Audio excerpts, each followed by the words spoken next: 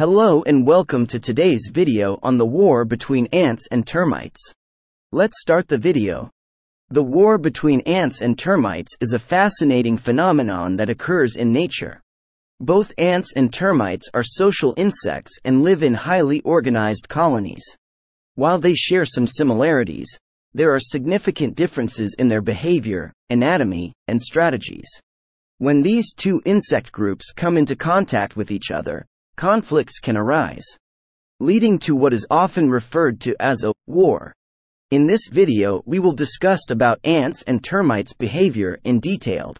So, if you are new to channel, then subscribe to my channel for upcoming videos.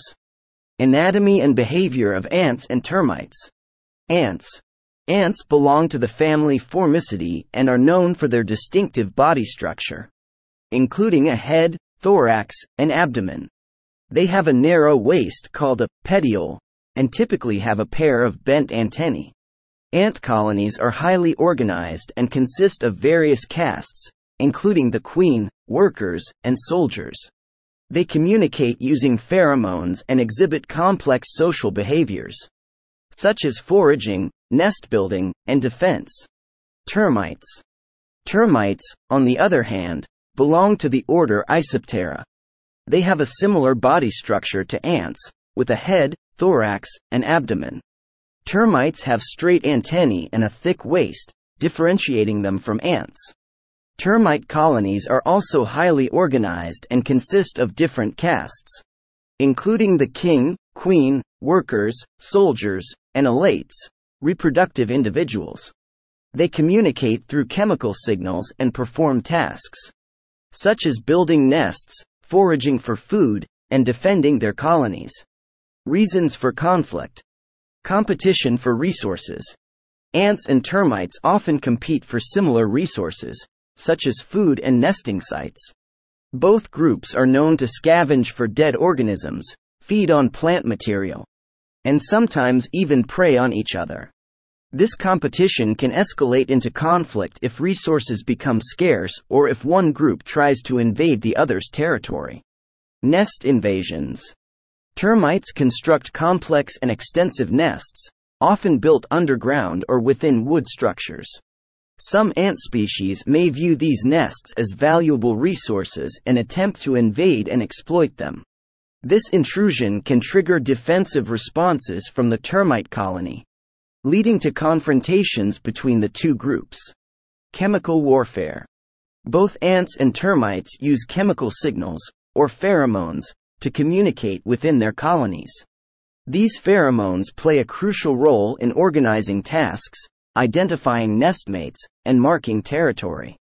When ants and termites encounter each other, they may release alarm pheromones or attack pheromones to signal danger or aggression. These chemical signals can further escalate the conflict and lead to intense battles. Battle strategies. Swarm attacks. Termites, particularly the soldier caste, have evolved unique defensive mechanisms. They may employ swarm attacks, where soldiers from the termite colony collectively attack invading ants. Soldiers have specialized mandibles or jaws that can tear apart enemies and they may release toxic substances or use their bodies to block entrances and prevent ant infiltration. Chemical defense. Some termite species possess glands that produce toxic or sticky substances, which they use for defense. When ants attempt to invade a termite nest, these substances can be deployed to trap or repel the invaders. The toxic chemicals can harm or immobilize ants, making them more vulnerable to termite attacks. Ant cooperative strategies. Ants are highly social insects that rely on teamwork and coordination. In the face of termite aggression, ants may employ collective strategies to overcome the termite defenses. They may surround and overwhelm termite soldiers, utilize their strong jaws, or leverage their numerical advantage to neutralize termite threats. Outcome the outcome of the war between ants and termites can vary depending on several factors, including the species involved, colony sizes, available resources, and environmental conditions. In some cases, one group may emerge victorious and successfully invade or take over the other's colony. In other instances, the conflict may lead to a standoff, where neither side gains a clear advantage.